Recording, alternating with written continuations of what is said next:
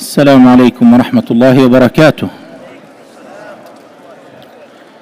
بسم الله الحمد لله والصلاة والسلام على رسول الله وعلى آله وصحبه ومن والاه. Dear brothers and sisters, we are now reciting Surah An-Nur. May Allah fill our hearts, lives, homes, masajid, schools, and graves with Nur. Say Ameen. Surah An-Nur, Allah subhanahu wa ta'ala says about it, سورة أنزلناها وفرضناها وأنزلنا فيها آيات بينات لعلكم تذكرون A surah which we have revealed, we have prescribed, and we have revealed in it verses that are very clear or clarifying so you may be reminded. This surah, we can refer to it as the surah of adab. The surah of adab. Adab is the Arabic word for high morals and high character, mannerisms. And Allah subhanahu wa ta'ala is teaching us in the very beginning that anyone who tries to accuse anyone of any type of fornication or shameful act of such, and they don't have four witnesses, and the details of witnessing is very vivid, Allah subhanahu wa ta'ala says that those people should be whipped 80 times. And we, Allah subhanahu wa ta'ala says, don't accept from them any testimony. And those are the fasiqeen. Such a severe, stern punishment for someone who uses their mouth irresponsibly. Irresponsibly. A Muslim's dignity, a human's dignity, is extremely important in Islam. The Prophet sallallahu alayhi wa alihi wasallam in Hajjatul Wada' said, "Inna dima'akum wa amwalakum wa a'radakum haramun alaykum كحرمة يومكم هذا في شهركم هذا في بلدكم هذا." Says that your lives, your property, and your honor is as sacred upon you as the sacred this day is sacred, this place is sacred. That was Arafat, the day of Arafat, the place of, of Arafat, this sacred month of Dhul Hijjah. So it is important for us to learn the adab of controlling our words and what comes out of our mouth. The Prophet ﷺ explained that a person on the day of judgment or people will be dragged on their faces to hellfire because of what their tongues used to do or say. So, very important the adab when it comes to people's honor, respect, and dignity. And then Allah opens the door for tawbah. For those who used to make these mistakes, now go back and repent. ولولا فضل الله عليكم ورحمته وأن الله تواب حكيم. Then Allah subhanahu wa ta'ala warns again for those who slandered our mother Aisha radiallahu anha. والذي تولى كبره منهم له عذاب عظيم. And then Allah subhanahu wa ta'ala tells us when others are speaking, spreading rumors about someone else, the believers are different from the hypocrites. The believers will say, as Allah says, ولولا إذ سمعتم لولا إذ سمعتموه ظن المؤمنون والمؤمنات بأنفسهم خيرا وقالوا هذا إفك مبين. When you heard this false slander, the believing men and women said, they first thought positively. They didn't ride the wave of lies and the wave of slander. ظن المؤمنون والمؤمنات بأنفسهم خيرا. Internally, they always think positively of others. وقالوا هذا إفك مبين. And what the response was? This is clearly a lying, slanderous rumor. And then Allah subhanahu wa ta'ala says, لولا جاءوا عليه بأربعة شهداء فإذ لم يأتوا بالشهداء فأولئك عند الله هم الكاذبون. We have standards in Islam. Allah says, if you don't have four witnesses, then those are the liars in accordance to Allah subhanahu wa ta'ala. Very important for us. This is standardizing how we should treat things and how we should behave in a society and community. Then Allah subhanahu wa ta'ala gives us the adab of entering into a home. يا أيها الذين آمنوا أو you who have believed لا تدخلوا بيوتا غير بيوتكم حتى تستأنسوا وتسلموا على أهلها Don't you enter into a home that is not yours until you seek permission and give salam and greet those inside the home. ذلكم خير لكم That is better for you لعلكم تذكرون So you may be reminded فإن لم تجدوا فيها أحدا فلا تدخلوها حتى يؤذن لكم If you don't find anyone in there don't enter until you are given permission وإن قيل لكم ارجعوا فارجعوا هو أزكى لكم And if you are told go back I don't have time now. Don't come to that. Right now is not a good time. Farji'u, go back right away. This is better for you, Allah says. And then Allah subhanahu wa ta'ala gives us the adab of how to carry ourselves as men and how to carry ourselves as women. قل للمؤمنين يغضوا من ابصارهم ويحفظوا فروجهم ذلك ازكى لهم ان الله خبير بما يصنعون Tell the believing men to lower their gaze and to protect their privates. That is purer for them. And Allah knows everything that you do. So we men are being told by Allah to lower our gaze. We must have this adab. We must have these mannerisms. When we are dealing with our sisters, we need to have respect use our sight for the bare minimum needed interaction. And then we don't stare and gaze. And then Allah subhanahu wa ta'ala in the very next ayah addresses the ladies and He says, وقل للمؤمنات يغضضن من أبصارهن ويحفظن فروجهن and tell the believing women to lower their gaze and to protect their privates. ولا يبدين زينتهن إلا ما ظهر منها and to not show their beauty meaning things that are other than the face and hands except and Allah gives the exception starting with the husbands and the children and the father and so forth the way we carry ourselves the way we behave our attitude, our eyes, our words, our attire, our demeanor. Allah subhanahu wa ta'ala is teaching us in this surah to carry ourselves in a very respectable manner. Our beauty should be preserved for those who are allowed to look at it and enjoy it. And those are our spouses. Then Allah subhanahu wa ta'ala he teaches us the adab of having children and staff in the home. Where Allah subhanahu wa ta'ala explains to us that we must seek permission before we enter into our home, into our parents' bedroom. ثلاث مرات. Those who are underage those who are underage, not over, over the age of puberty, they have to ask all the time for permission before they walk into a, their parents' bedroom.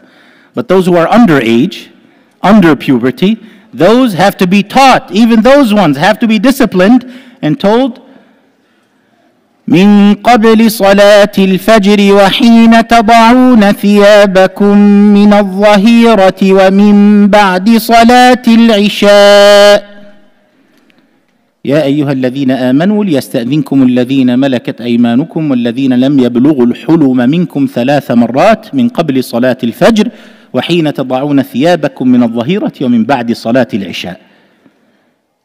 O you who have believed, your slaves and your underage children, under the age of puberty that is, must seek permission before they enter into your sleeping chambers.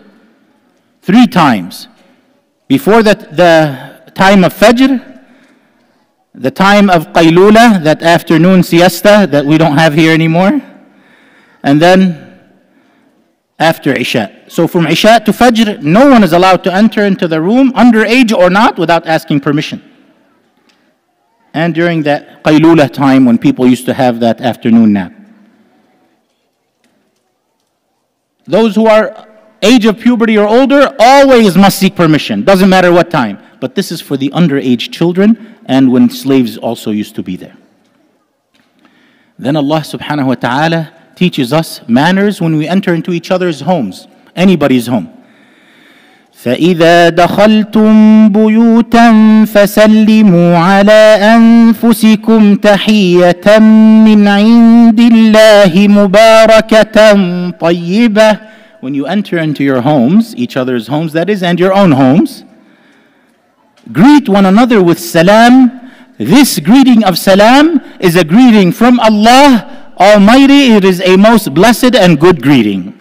It's a gift from Allah. Value that gift. Allah gave you a gift. If someone gave you a gift and they, yani it's a precious gift, a nice Rolex or some sort of nice watch or some sort of nice pendant or some sort of nice gift, you would cherish that.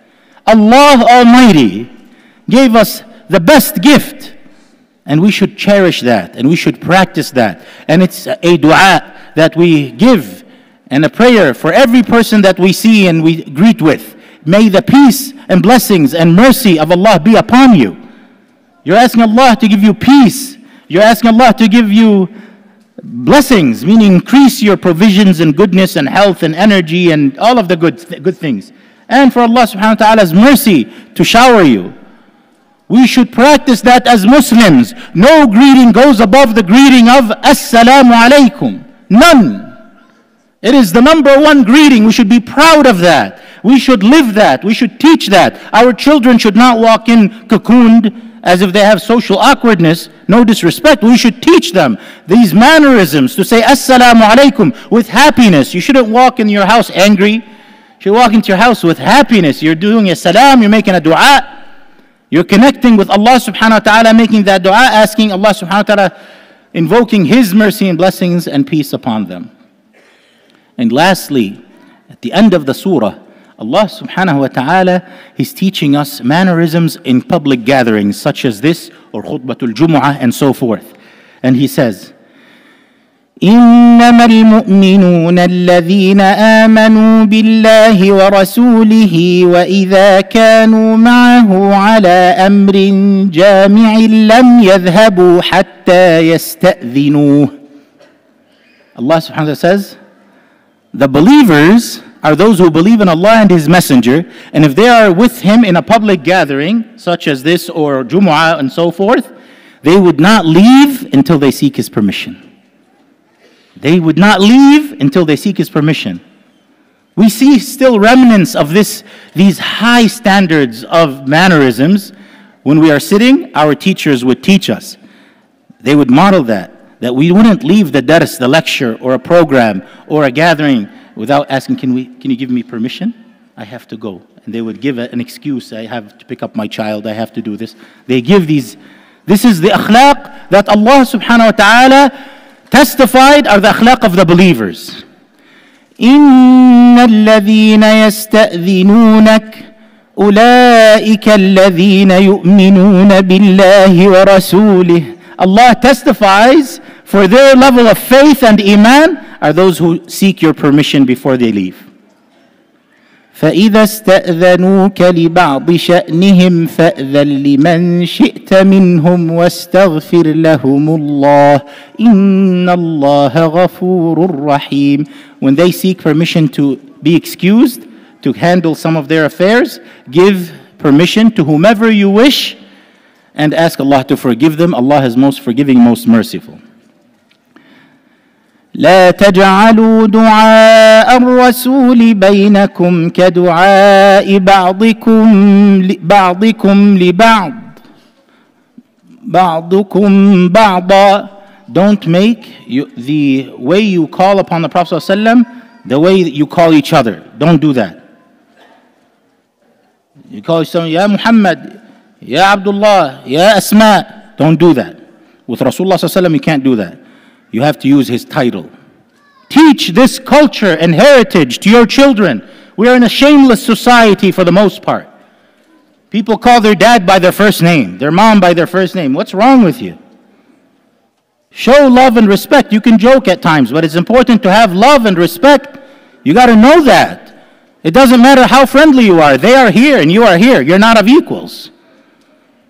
Rasulullah is not of equals with us. He's not equal to us. Rasulullah is above us. We must, when we call him, say, Ya ayyuhan nabi, Ya ayyuhan rasul. Give his title.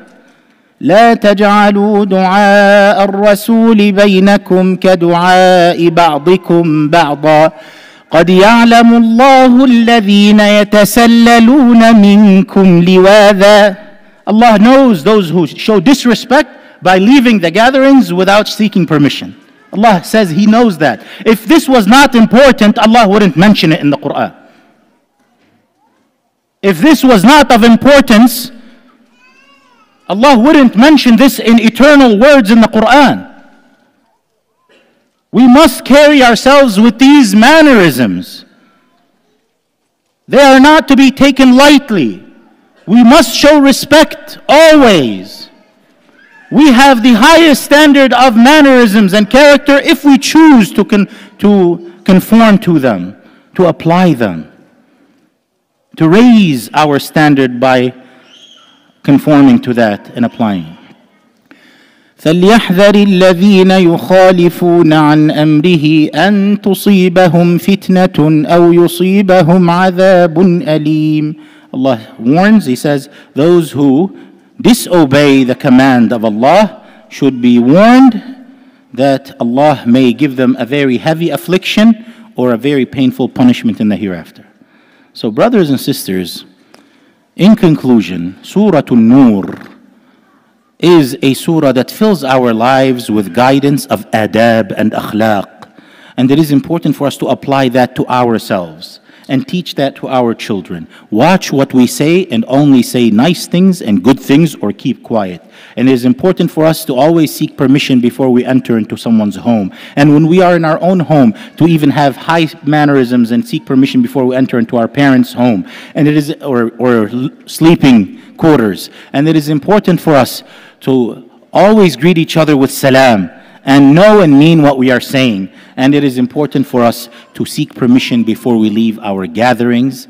And it is important for us to carry our attitude and behavior when we interact with the other gender with the most respectful manners and we need to also dress in the way that pleases Allah subhanahu wa ta'ala that is prescribed to us by Allah subhanahu wa ta'ala as Allah says anzalnaha wa faradnaha وأنزلنا فيها آيات بينات لعلكم تذكرون نسأل الله أن يجعلنا من الذين يتذكرون الذين يستمعون القول فيتبعون أحسنه May Allah make us amongst those who listen to what is said and follow the best of it. May Allah subhanahu wa ta'ala help us apply these mannerisms and character in our lives and our homes. أقول قولي هذا And before we go, I'm receiving complaints that some of our brothers and sisters are parking and blocking people's driveways on Plantation Drive. We're talking mannerisms, brother, sister, mannerisms. So please don't block anyone. Please be courteous, be patient. And Allah subhanahu wa ta'ala, may He give you sabr and may He give you ajr. وقوموا إلى صلاتكم ورحمكم